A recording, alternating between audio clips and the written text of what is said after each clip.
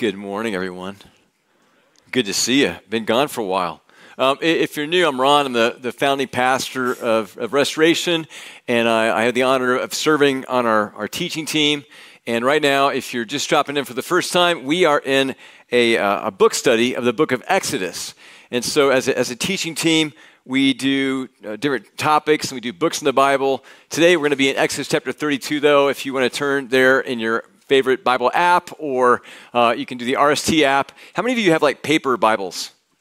Oh, you're so retro cool. Gosh, that's great. I didn't know people still use those things. That's awesome.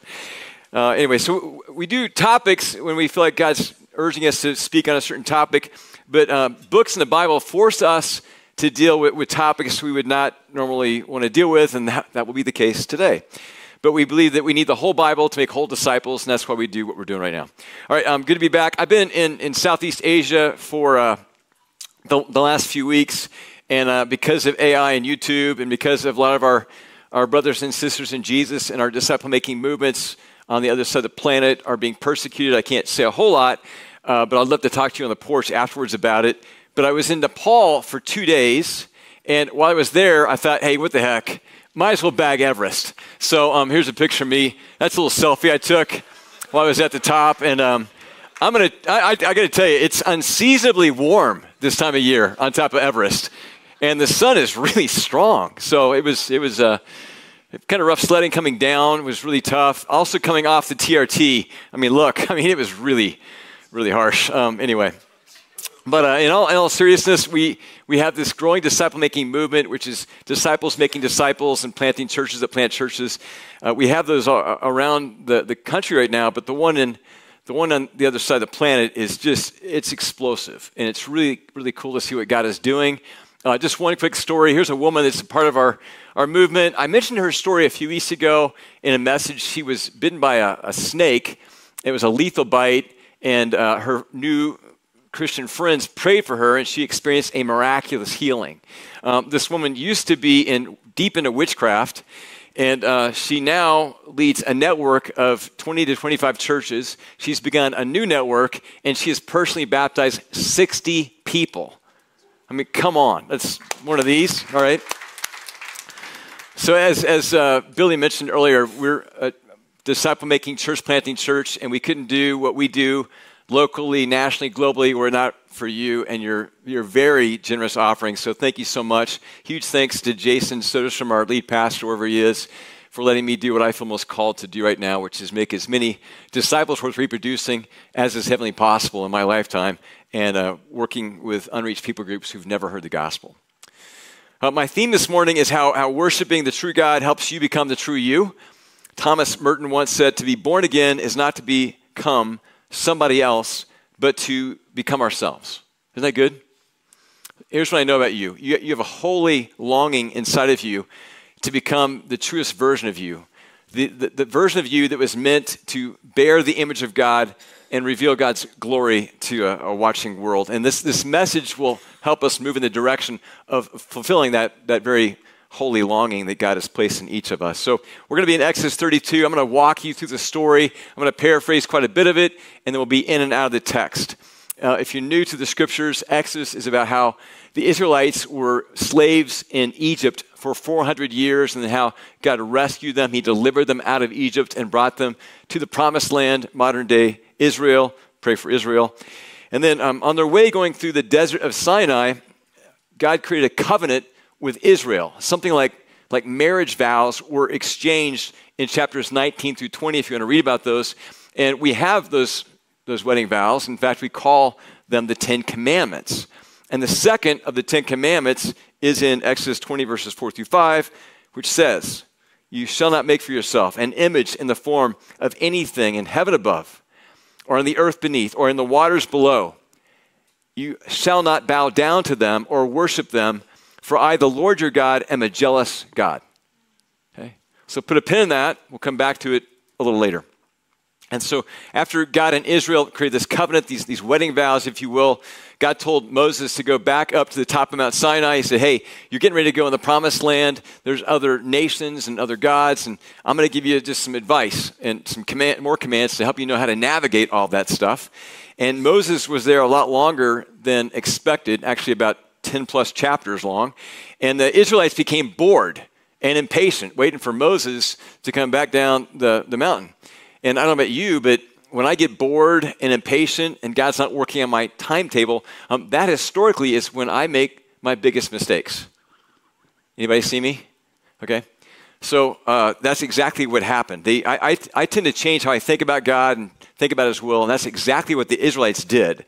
And so they decided to do God a favor, and they decided to give God a makeover and create like a designer god, a DIY god. And so they took all the, all the earrings and the jewelry that they had plundered on their way out of Egypt that was meant to be used to create a tabernacle. They took all that, and Aaron uh, created a, a, golden calf. Looked something like this. I took a picture of this in a Marriott hotel a couple weeks ago.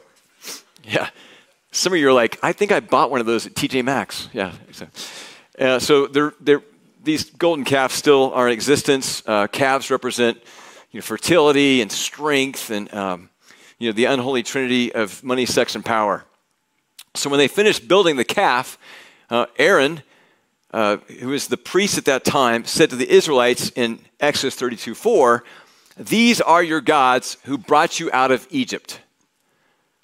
So the Israelites, they didn't make a new God, they just sort of refashioned God and oh, by the way, they went from the monotheism that God was trying to train them to understand about his nature back to their polytheism that they, that they participated in back in Egypt. And as you can imagine, this really, really upset God, really made him mad. And so in Exodus 39 or 32, 9 through 10, it says, I've seen these people, the Lord said to Moses, and they are stiff necked. Now leave me alone so that my anger may burn against them and that I may destroy them. God's a little mad here, don't you think? So he's really, really upset. We'll talk more about why in a few moments. And then Moses, uh, after God said this to him, came down from Mount Sinai, and when he saw that Israel was like doing Mardi Gras kind of stuff, he got really, really mad along with God, and he took the, the tablets that had the, the wedding vows, the covenant on them, and he threw them down, and they broke in a bunch of pieces, symbolic of the fact that Israel had already broken their covenant with the God who brought them out of Egypt. The marriage was broken, even though they were just on their honeymoon. And the chapter ends this way in verses 31 through 32. Moses went back to the Lord and said, Oh, what a great sin these people have committed they have made themselves gods of gold. But now please forgive their sin. But if not, then blot me out of the book you have written. So here Moses is offering himself as an atoning sacrifice so that God would not destroy Israel uh, for being unfaithful. And um, does that sound like someone else we might know? Okay. So here Moses is being a prototype, pointing us to the atoning sacrifice of Jesus that we're going to celebrate a little later when we come to the Lord's Supper. All right, any questions, class? Any, questions this, this story raised for you? Hopefully, a lot. Here's, here's three of mine. First of all, do we do this? Do we do what they did? Uh, maybe we don't create a golden calf, but do we make false images of God? Do we have false ideas of God that we worship more than we worship the true God? And then, second question why did God get so upset? Why all the jealousy? What's the nature of his jealousy? And then finally, um, what do we do if we discover, perhaps today, hopefully, that we worship false gods or erroneous ideas about gods? What do we do with that? Here we go. First question Do we do this? Do we make false gods? Answer yes. yes.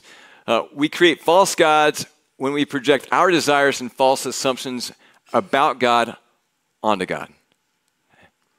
The, the way to discern if you have false gods or what they may be is to think about what you think about when you think about God. So, over the last 40 years, I've caught myself worshiping false images of God. I've pastored a lot of people and I've discerned what their false images of God are. Here's just a few, just to get you thinking about this. I would just ask right now, by the way, the Holy Spirit is in this place. We are the temple of God, we are the people of God. He promises to be here with us right now.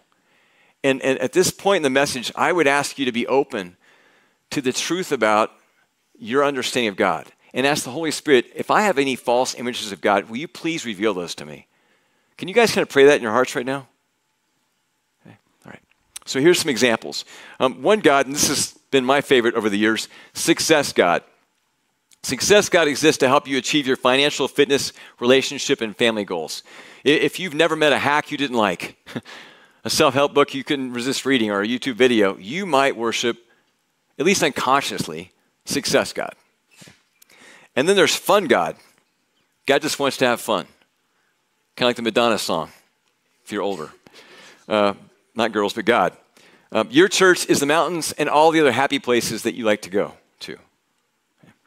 Uh, moral police God. If you grew up in a home that was really religious, could have been any religion, but where there was a lot of shame, a lot of rules, you know, uh, God's just sitting there next to the go to hell button, ready to slam you, send you off to hell. If that's the kind of home you grew up in, you, you might have that version of God, moral police God. He just wants you to be good. Another God that's like the opposite end of the spectrum from moral police God would be virtue signaling God. Uh, this guy tells you that you're innocent of racism, genderism, and all the other isms that are unfashionable today. And here's one that no one thinks they worship, and yet we should be very careful. Because Jesus says this is the number one false God that people worship, and that's money God. Money God is always the God someone richer than you worships. Have you noticed this? Uh, Jesus even gave it a name. He called it mammon aka money God. And, and then there's ideology God. Uh, this is the God of your, your political party, be it Democrat, Republican, or those other parties that some of you vote for that never win. or, or the God of like some ideology that you begin to treat like it's a religion, be it, be it critical race theory or intersectionality or Marxism, queer theory, whatever your theory is, CrossFit for some of you. Um, you know, it can become a God. You're more devoted to it than you are to the living God. Then there's parent God. God's just like your mother or father. This is a big one, by the way. A whole lot of people worship parent God. So if your dad went out for a gallon of milk when you were five years old, never came back, your understanding of God is that God may be this distant, absent parent. You know, like a deistic version of God. He spun everything in place and just walked out for a gallon of milk. Or if you had like a tiger mom and you were always trying to like make Tiger Mom happy, and then you were valedictorian, homecoming king, five star recruit, and you went on a full ride to Princeton, but she still wasn't happy, then maybe your version of God is Tiger God. And then there's quid pro quo God, aka let's make a deal God, aka Santa Claus God. And if you do what God wants you to do, if you worship this God, then he'll do, or he has to do, what, what you want him to do okay? Whether it be finding a mate, having a kid, uh, getting your health back, whatever. And there's, there's all kinds of gods. John Calvin said that we're like idol making factories. And if you break the second commandment to have a false image of God, you will certainly eventually break the first commandment not to have other, other gods ahead of the living God.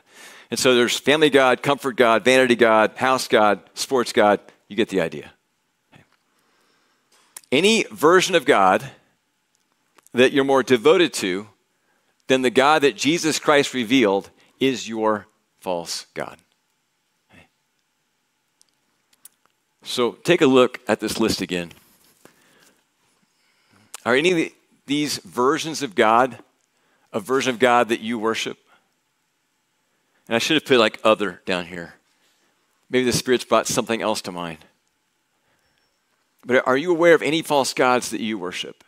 And again, to worship just means you're more devoted to that understanding of God or what you want God to be like than the way God actually is, as He's revealed Himself in Jesus Christ.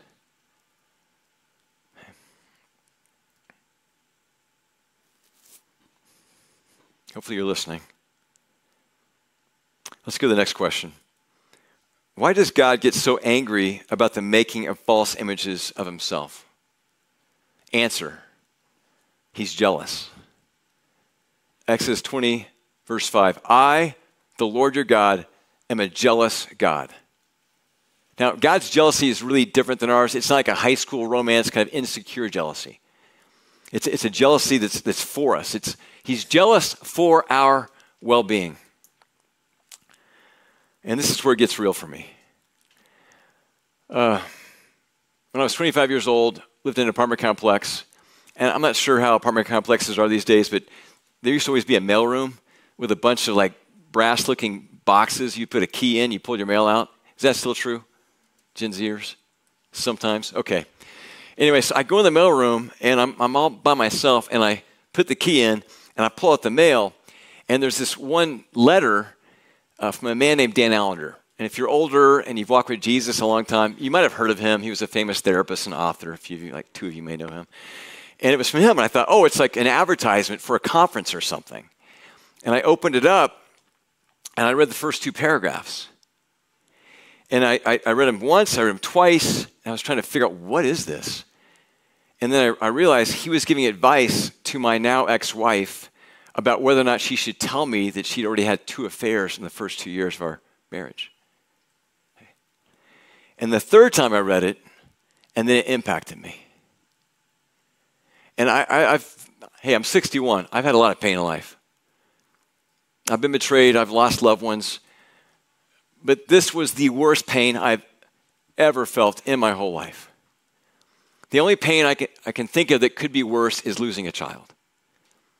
It was this piercing, searing pain that my wife at that time had betrayed me and had been intimate with other men. And I remember that night I had a janitorial company, I had to clean accounts. I wept all night long. Um, this, my friends, is how God feels when we worship false gods. This is why this topic is so serious. You can't read Exodus 32 without realizing God is very emotional. In the Western world, we tend to think of God in like, you know, Greco-Roman sort of terms and ideas that God's impassive and all. He, nothing could be further from the truth. In Exodus 32, you realize God is very, very emotional, and what we do impacts him. And so I believe when we worship false gods, he feels something like what I felt in the mailroom that day. Well, a few months after I discovered my ex's affairs, I competed in a biathlon, which is a you run and you ride a bike. And uh, after I finished the race, for whatever reason, she was there and she pointed him out to me. And all I remember five years later, or uh, now, today, about that period of time, was that he was five years younger than me and that he had a man bun. I know, I know. You know, and this is before man buns were cool. Not that they've ever been really cool, unless you're Jason Momoa or something, I guess, you know. But, but I was like, seriously, you traded me for man bun boy? You got to be kidding me. And, and part of my jealousy really was insecure. I was like sizing him up, like, why him and what's wrong with me? And, but there's a part of my jealousy, I think, that was like God's jealousy. Because I thought to myself, you know what? I, I care about you. I, I actually love you. He's just using you. And I think that gets the core of God's jealousy. He's jealous for our well being. I think when he sees us worshiping false gods, he's like, Are you serious? Are, are, you, are you kidding me? Really? Like you're trading me, the God of the universe, the God who made you, the God who sent his son to die for you, the God who wants you to have eternal life and be with me forever and ever and ever, the God who desperately wants union with you. You traded me for that. For money, God. Success, God. Your little Buddha. Seriously? I think what, we got, what God must think and feel when he catches us being unfaithful to him. God is jealous for us because he knows he is the one who is best for us. And he knows our false images will always fail us. Jonah 2:8 says, Those who cling to worthless idols forfeit the grace that could be theirs. Now, there's a couple ways I've thought of this week that, that, um, that are about how our false images fail us and that arouse God's jealousy. So here's one false images of God lead us to create false images of ourselves. Worship the true God, you'll find the true you. Worship a false God, and you will develop a false self. Okay, we need to lighten this up. how many of you have seen, uh, or not seen, read Green Lights or listened to the audio version of Green Lights by Matthew McConaughey? Okay. I feel a little weird recommending it because there's a ton of foul language, but man, it's really good. It's really good. So I listened to it on a trip, the audio version. He's a master storyteller. The opening story, he's got his mom and dad who got divorced and remarried three times. Talk about a high beta, you know, family environment. Uh, they're, they're chasing each other around the kitchen. His mom was chasing his dad, a former University of Kentucky football player, with a knife in the kitchen. And he found like one of those squirt bottles of ketchup and he was squirting her with ketchup as she was chasing him around the island in the middle of the kitchen. I go, this is, this is awesome. And then they end up doing married things on the floor and laughing, and Matthew McConaughey and his brothers left the room. The appropriate thing to do. All right, that's just one story. Okay, but the whole book is just fun of these really these great stories. And then in the middle of the, the book, he, he talks about how his career stalled out as, a, as an actor. You could say he had like a failure to launch. so he, he was typecast as this rom com guy. And he realized the reason he was typecast was because he, he'd been presenting a version of himself that wasn't his truest self. And so he did something really gutsy. He just uh, time out on taking contracts and doing movies, and he just spent a few years uh, engaging what he called his McConaissance. And uh, it was during this time he stopped doing drugs and partying and chasing skirts, and he got married, had kids. It was also during this time he got really serious about pursuing God. And he, he came back after trying different religions and whatnot. He came back to the religion of his youth, and he began to follow Jesus again. And in his memoir, he shares a prayer he prayed during that time. God, when I cross the truth, give me the awareness to receive it the consciousness to recognize it, the presence to personalize it, the patience, patience to preserve it, and the courage to live it. Good prayer? Yeah. You see, McConaughey couldn't find his true self until he started seeking the truth about the true God. And once that happened, his career took off again. And he started taking on much more mature uh, roles in movies like uh, his Academy Award winning performance in uh, the Dallas Buyers Club. Point being, worshiping the true God is critical for you to find the true you. And God is very jealous because He wants this for you. He wants you to discover the power of living out the image of God that you were designed to reflect. A second reason worshiping false images, I believe, makes God angry is because false images open us up to demonic influence. John 8:44 says Satan is a liar and the father of lies. So Satan loves to lie to us and trick us into following cheap false versions of God. 1 Corinthians 10 20 says, The sacrifices of pagans are offered to demons, not to God, and I do not want you to be participants with demons. Paul's coming strong here. He's saying the worship of any God other than the God of the Bible is really the worship of a, of a demon. He's saying behind every false God, there is a demonic power. So I, when I was in uh, Nepal, I, I, spent a night at a hotel called the Yak and Yeti. And I'd, I'd been to other hotels in the past, but I was told this sort of famous hotel was where all the Everest climbers would go before they'd climb Everest. And I thought, well, you know, if I'm going to bag Everest, might as well join them. And so I, I went to this hotel and I walked in the lobby and, and immediately I felt this darkness. And engraved in the, in the wood and the statues and little gardens are all these, these gods. Um, there was a snake on top of a serpent, which is a symbol for, for Vishnu, the, the god of preservation. Uh, there were other snakes that were symbolic of Shiva, the god of destruction. Elephant faces all over the place, which were, are symbols of Ganesh, the god of success and prosperity, the remover of obstacles. Monkey gods, all kinds of idols and gods everywhere. And then in my room, carved in the walls were other, other idols.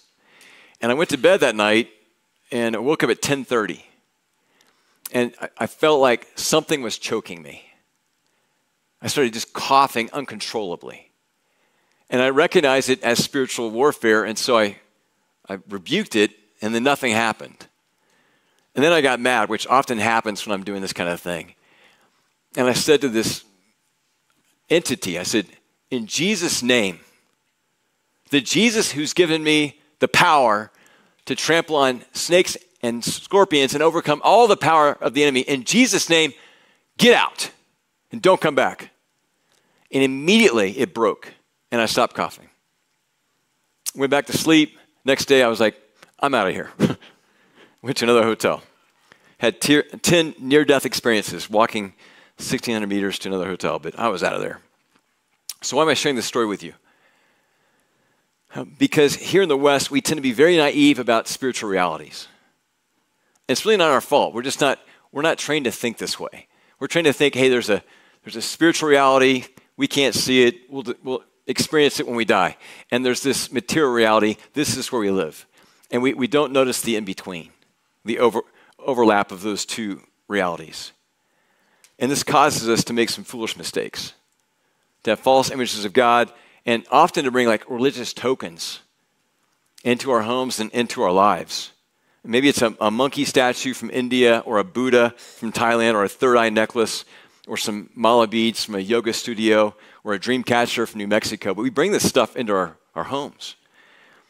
And, and we often don't realize those objects have been cursed, or at the very least, they've been dedicated to false gods.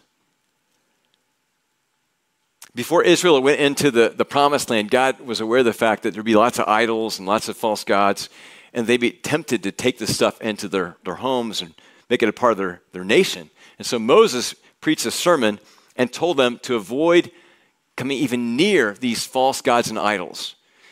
And in Deuteronomy chapter 7, verses 25 through 26, Moses said, The images of their gods you are to burn in the fire. Do not covet the silver and gold on them they may be cute, that little Buddha with the tummy might really be cute, but do not take it for yourselves, or you'll be ensnared by it. For it's detestable to the Lord your God. Do not bring a detestable thing into your house, or you like it will be set apart for destruction. Regard it as vile and utterly detest it, for it is set apart for destruction. That seem over the top? Here's what he's saying you don't have to worship false gods to be negatively influenced by them. All you have to do is be close to them. I wasn't worshiping any idols in that hotel, and they were influencing me negatively that night. Intent doesn't matter. So I, I, share this as one of the pastors on the team here, not to create like a satanic panic today, okay? So, parents, please, for the love of God, don't go home and grab your kids' Pokemon cards and set them on fire on the front porch, okay? Don't traumatize your kids with this stuff, all right? Don't go on a, a witch hunt. But at the same time, be aware that you may have things in your home, or you may be engaging in certain practices that are invoking the presence of other gods that really are not gods but are demonic in origin. And it will affect you. So I, I, do hope that if you own anything that symbolizes another God or another religion, that you'll destroy it. Don't take it to Goodwill. yeah, throw it away. Uh, in, in, recent weeks here at, at, Restoration, we've cast demons out of people who've eaten food sacrificed to idols in other countries, who have participated in dance, dances at weddings honoring other gods. Um, we, we've cast demons out of people who've practiced yoga under teachers and gurus who teach Kundalini. Uh, and I'm just naming a few things.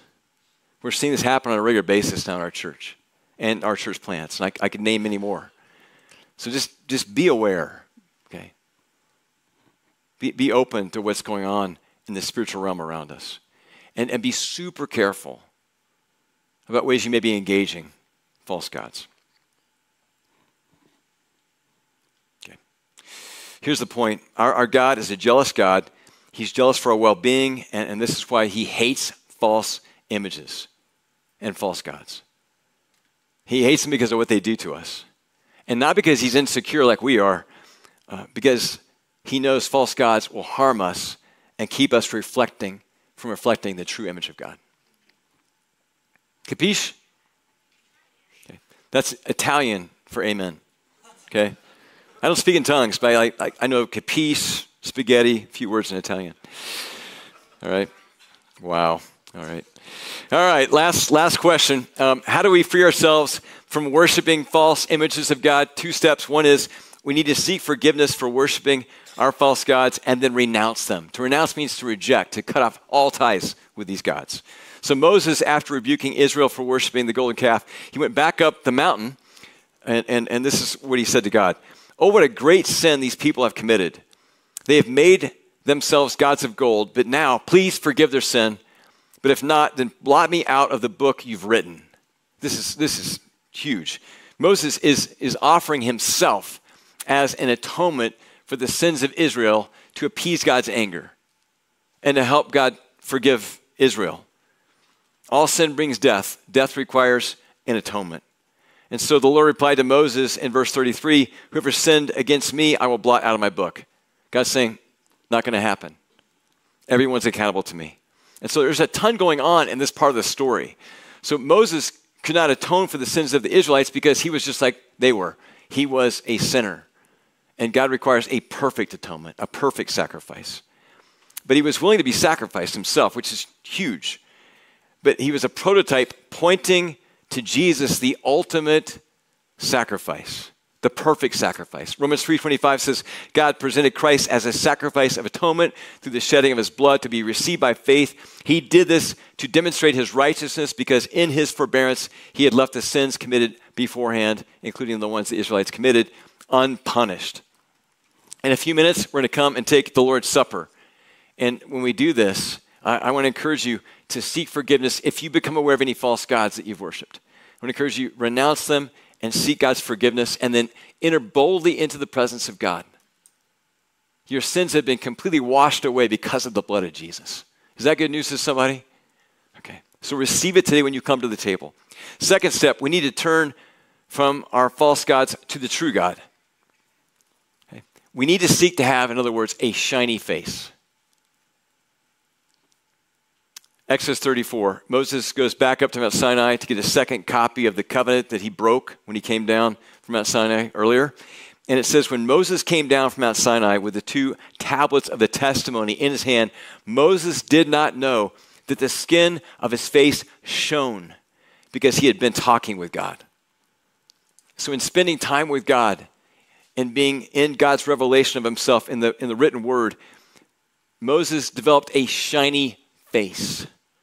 He began to reflect like never before the image of God. The true image of God was in his face. In fact, it was so bright, he had to put a veil over his face to keep people from getting a sunburn. We all need a shiny face.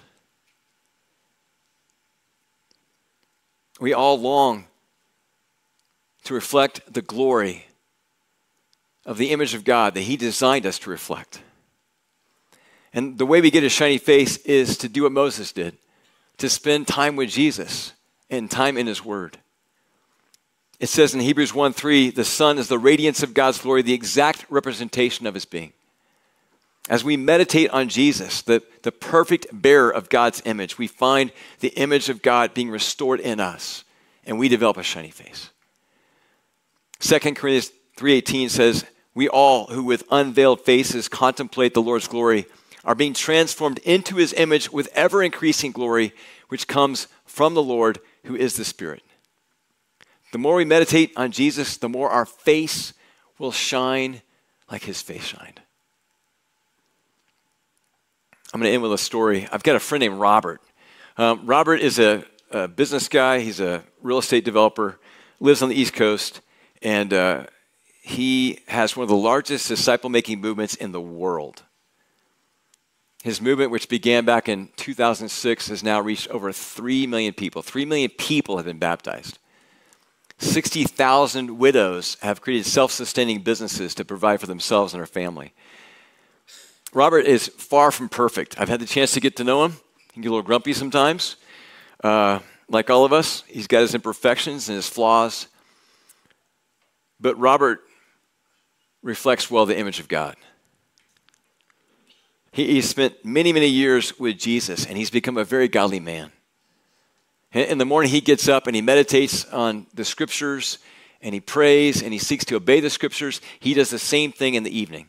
Every morning, every evening. Like Joshua 1, Psalm 1, he reflects on the scriptures. And it's his intimacy with Jesus and his obedience to God that has made him who he is. And I believe that has led to the success he's experienced. So you see, my friend Robert has a shiny face. His face radiates the glory of God. So, restoration, let me ask you today do you want a shiny face?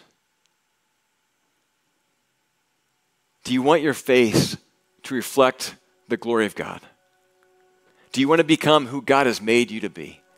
The, the truest, most glorious version of yourself. Do you want this? Let's not even make that a rhetorical question. Do you want this? Yes. It's your birthright, it's what God has made you for. So here's some actionables for you today. Number one, as we're uh, reflecting and getting ready to come to the table, it says in 1 Corinthians 11 that before we come to the table, to take it in a worthy manner, we need to examine ourselves.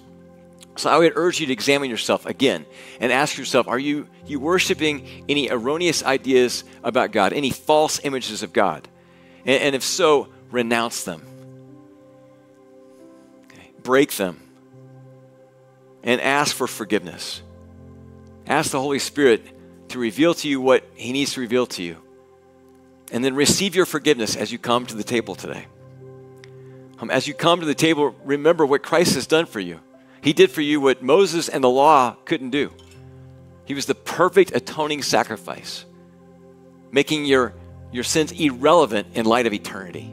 And so come thanking Him for His grace and for His forgiveness. And then finally, I want to encourage you as a church to dedicate yourself this week to contemplating the person of Jesus, to making sure you're spending enough time in His presence every day, praying, listening, being in the Word of God.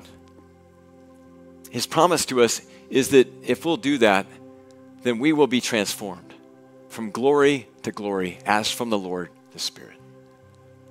We will get a shiny face. Let's pray. Uh, Jesus, as we come to the table today, we thank you for what you did for us. Your body was broken, your blood was shed so that we could receive forgiveness. And one of the reasons we need forgiveness is we we have all fallen short of your glory by worshiping false images, and they have done damage to us. They've marred the way we reflect the glory of God to a watching world, a material world, and a spiritual world. And so, right now, we renounce our false images. We ask you to forgive us for them. We come to the table remembering what you did for us. You were the perfect sacrifice that we needed. And we ask this week, Jesus, that as we contemplate you, as we spend time in your word, as we see you more and more clearly, that you would transform us from the inside out, and that we, like you, would have faces that shine with the glory of God. We pray this in your name. Amen.